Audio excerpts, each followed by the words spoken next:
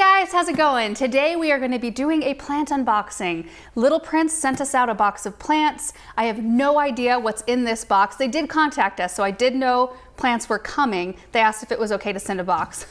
of course it's okay to send a box of plants anytime. Uh, so anyway, I knew they were coming, but I have no idea what to expect inside this box. And it's been so long since we've done a plant unboxing, I thought you guys might enjoy seeing some fresh things. So we are just gonna get into this box and see what we've got going. And I'm so glad that we recently organized here in the studio because I don't know if these are gonna be plants that need to stay in here, in which case I've got grow lights ready to turn on, fill up and turn on. Okay, so first off, oh, we've got a list here. I'm not gonna look at the list. I wanna be surprised as I see the plants. Okay, you ready for this?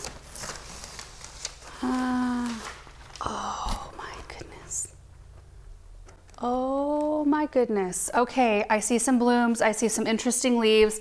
I'm going to put the box on the side here and we'll take them out one at a time. First plant.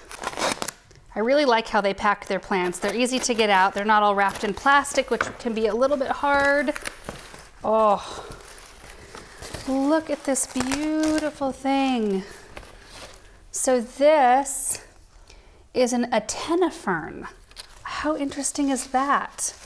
Okay, so it looks like, yeah, each one of the plants has a, a little barrier of this.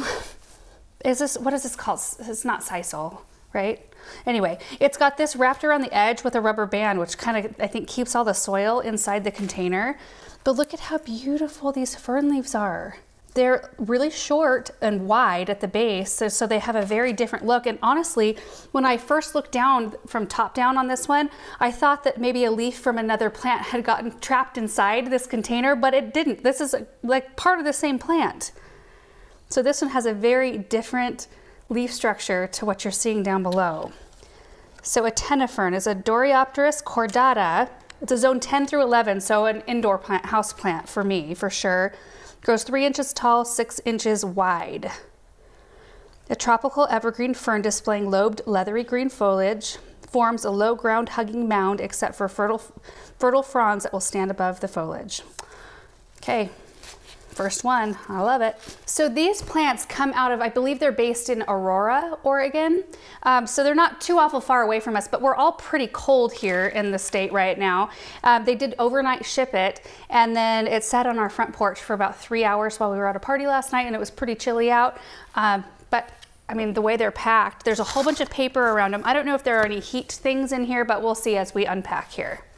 Just wanted to kind of give you an idea of what the shipping was like on it. Plant number two. Oh my goodness. This is an elephant ear of some kind. Dwarf elephant ear, Alocasia dwarf amazonica, Beau Chateau. I think that's the, is that the uh, series? Beau Chateau sophisticated houseplants must be like a line, I'm guessing. Look at the leaves on this. Oh, they're really, really neat looking. So zone 10 through 11 grows 16 inches tall, 12 inches wide. Dwarf elephant ear tropical displays dark green shield leaves, clump habit. Oh, that's really beautiful. Now these, typically like when I see plants like this, I have to keep a really sharp eye out for spider mites whenever they're in my care. spider might seem to like these plants for me. So I'm going to keep an eye on. I've not had this variety though, so this will be interesting. But it arrived to me clean as a whistle. So that's good, good start. Oh, you guys are gonna love this one. There we go. I'm looking on the tags on each one of these because I don't wanna get it wrong. This is a Swiss cheese plant, just in case there's some kind of variety that I don't quite know. So zone 10 through 11, three feet tall by three feet wide. Dang. Easily grown tropical vine has larger leaves if, provide, if provided with a climbing surface. That's interesting. Oh, this is fun because these all look to be like fairly unusual plants to find. Oh, That's called an eyelash fern. So it's an actin Actiniopteris australis, australis, uh, zone 10 through 11, 6 inches tall, 8 inches wide. Remains compact, needs warm temperatures and high humidity. It'll actually, I think, do really well in this room right now because I don't know what it is. I don't know if it's that I've got some seed starting going on or just all the plants, but it's the humidity in here is quite high. We really should get a gauge in here so we can know exactly. That is a beautiful, that looks like palm tree almost. Oh, this is a Birkin philodendron. I have one of these, but mine doesn't look as good because I accidentally left mine out in the cold sun porch. So this is excellent timing to get a fresh one. I love the variegation on this philodendron so much. Uh, this one grows two feet by two feet. And I just love the deep green glossy leaves with the white margins. Typically the newer leaves kind of have a little bit of a variation, so some will have a lot, lot more white, some have a little bit less, but I think it's a really interesting plant. And also as you look kind of down into the plant, you can see there's a little bit of a red margin on some of the stems. It gives it a little bit, uh, like it kind of draws your eye down a bit. It's just a beauty. Ooh, this is a beauty. This is a fern. I had one of these. What happened to it? this is a heart fern. Zone 10 through 11, 10 inches tall, 12 inches wide. Tuft forming evergreen fern displays glossy green heart-shaped fronds with black stems. So you can see that just like right away, the beautiful heart shape of the leaves. They are kind of leathery. They have a texture, definite texture on them. Just really interesting. And you can see a new one coming up right here. That little furry thing, so cute. This is a rubber tree. Variegated rubber tree, Ficus tineke, T-I-N-E-K-E. Now these are really pretty. I have two of these in our house right now. Um, and they're really an easy care plant. They get water once a week on Mondays, just a little bit, and um, they just seem to thrive. They're both in kind of a low-ish light situation. They get maybe medium. Light would be a better way to describe that the areas they're at. But I love kind of that sagey green. It's a little bit lighter and then they get creamy variegation onto the pink side. So like this new growth here is really kind of a deeper pink. And then as they open, you can see how they lighten up a little bit. Even lighter uh, than still right there and lighter on the lower leaves. Every leaf looks a little bit different and I think they're just so beautiful and they're just so easy to take care of. Got a Monstera here. This is a mini Monstera mini monstera. Grows 10 and, oh, a mini monstera grows 10 feet tall and six feet wide. There's nothing mini about that. I was like kind of getting excited there thinking, oh, is this one going to stay a little bit smaller? nope. See how clean they all arrive?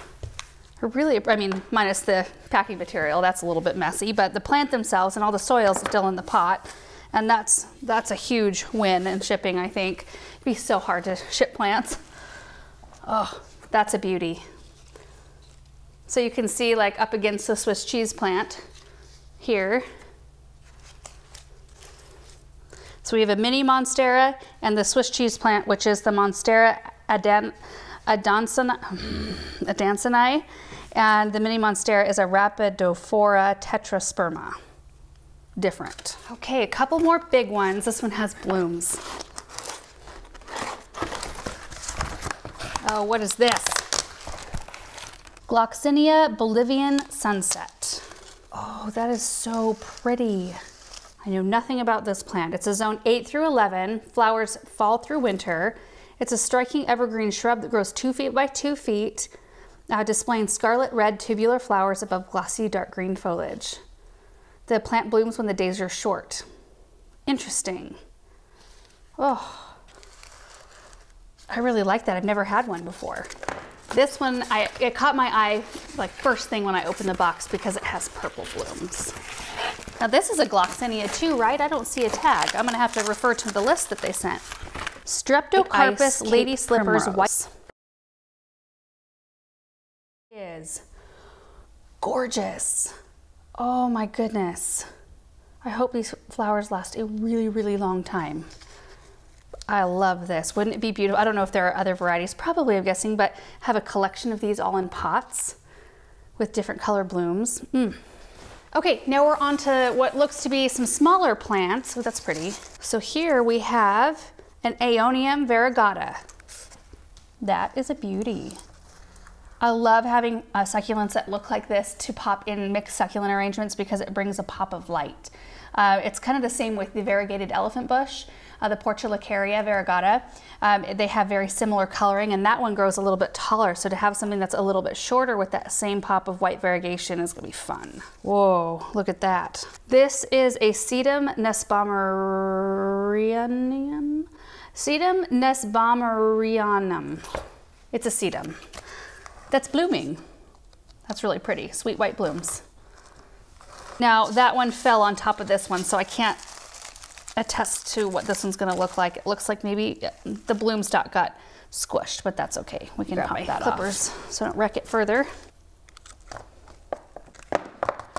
And this is an echeveria called Minima. Got a nice shape. Bummer that that was crushed because that's some pretty color right there, but that's okay. All right, guys, it looks like we have six more. This is a string of something, I think. String of pearls. Always use string of pearls. I actually don't think I have any string of pearls. I have string of bananas and I have string of dolphins right now, but no string of pearls. That's a nice, healthy looking one. Look how sweet those are. String of turtles, is that right? Yes actually never had one of these before. Okay, I need to calm down. I'm so excited to get it into the plant. I don't want to, to wreck any of the leaves here. Calm yourself while opening plants. Look at that plant. Oh, I'm excited about this one. They do look like turtle shells says it'll grow 14 inches wide. Small vining plant displaying round succulent green leaves with white veins in a turtle shell pattern. Beautiful in dish gardens and hanging baskets. We've got a furry one in here. Yep. That is an echeveria called Setosa.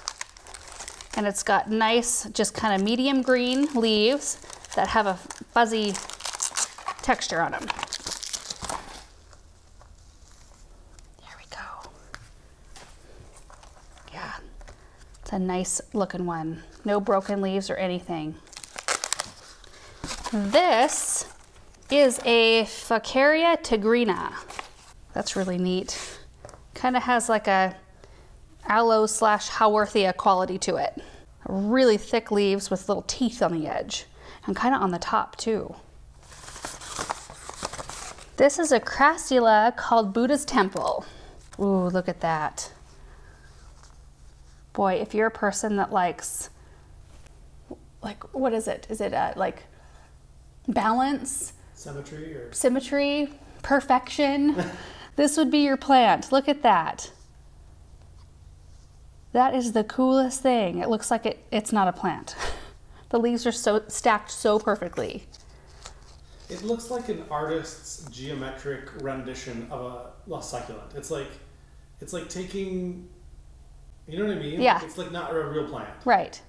But it is. That's cool. This, this one's going to crack you up. Senecio stapeliiformis. Stapeliiformis. Oh my goodness. It looks really cool. Now, I've never had one of these, clearly. Uh, upright succulent.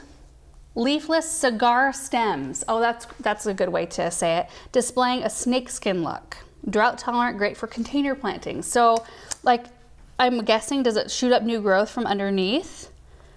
That's really cool though. That also looks like these kind of go along the same lines. Like they belong together in the same arrangement. I like it. I don't, I don't really know what, like, like, I don't know that I could put it in a mixed arrangement just all by its lonesome. Like I feel like I need two more at differing heights to make a little grouping, but it's a really interesting looking plant.